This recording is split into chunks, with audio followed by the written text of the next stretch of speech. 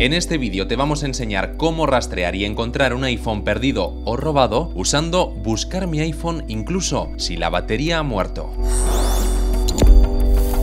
La app Buscar mi iPhone es muy útil y no solo funciona en el iPhone, también puedes utilizarla en tu iPad o Mac.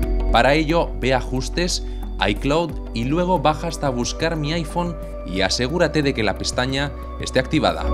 Además de esto, lo peor que te puede pasar es que tu iPhone se quede sin batería una vez lo hayas perdido o te lo hayan robado. Si activas esta opción se enviará automáticamente a Apple la ubicación de tu iPhone cuando el nivel de la batería sea muy bajo. Una vez actives todo esto, ve a la aplicación de Buscar mi iPhone, inicia sesión con tu ID de Apple y tu contraseña. Una vez dentro, localizará todos tus dispositivos y los pondrá en una lista. Por ejemplo, aquí está mi iPhone, pero pon que no sé dónde está mi iPad y quiero localizarlo. Si pulso en la opción de iPad, te mostrará exactamente dónde se encuentra. Luego aquí puedes pulsar en la opción de acciones. Si ves que se encuentra cerca, puedes pulsar en reproducir sonido y tu dispositivo empezará a sonar hasta que lo encuentres.